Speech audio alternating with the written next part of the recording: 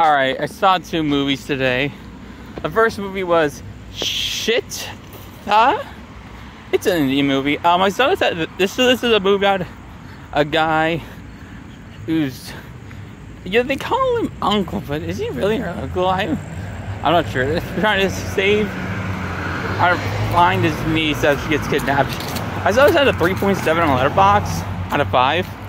The ratings might be good because because indie movies don't get inflated like they do when I. Um, uh, my big the, the story structures how the movie structured is three parts, but there aren't officially three parts. Is so awkward. Like the part before the kidnapping takes forever, and I fully mean forever.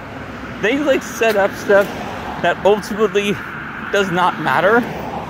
Oh, like the man, or the or actually, there's like actually no, like she steals magic pens.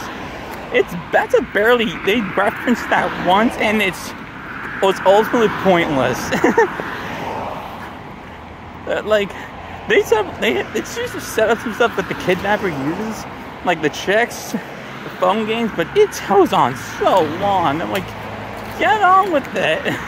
I didn't say that out loud because okay, this will be stupid. This one couple came in like 20 to 30 minutes after the movie started. I'm not even kidding. I mean, I didn't know the exact time, but it, felt like around that. But yeah, it goes on and on. By the time the intermission happens, because uh, inter- indie movies have like intermissions, but not actually intermissions in the America theaters, but you can tell. the, the kidnapping started shortly before the intermission because first part just went on and on for no reason. It was very boring, very tiring. And also, the movie's so not creative. It just like a generic kidnapping movie. Like, uh, also, the, the, I would say the third part is most interesting. It involves the aftermath that he captured. There was that this interesting moral dilemma. Like, the guy should go hunt for the, because it wasn't sure. I'm, like, I'm about. I'm doing spoilers. Um, hunt for the killer because the was the one that showed up the court case wasn't the actual killer. Not killer. What am I saying? Uh, kidnapper. That that one dilemma was like stops. like the movie stopped when I thought it was gonna keep going. Uh, I'll admit I really like the ending where it shows the kidnapper w- was killed, but it's, it's pretty so says anyone could have killed him. Well, then you decide if the main character actually killed him. That was a really good end. That's a really good ending. yeah yeah, this movie needed a rewrite. It was awkwardly writ, awkwardly structured. Uh, yeah, not gonna one a five out of ten. Second movie I saw was Expendables. This is the fourth Expendables movie. I've never seen the first three. I won't. I just know these sucked, and my god, this movie was bore. This movie was insanely boring and cringy because the humor was dumb. Like this is just it's action, really dumb humor. There's like it was that's it. There's literally nothing to this movie. Oh, there's a stupid tw- there's one there's a really dumb twist.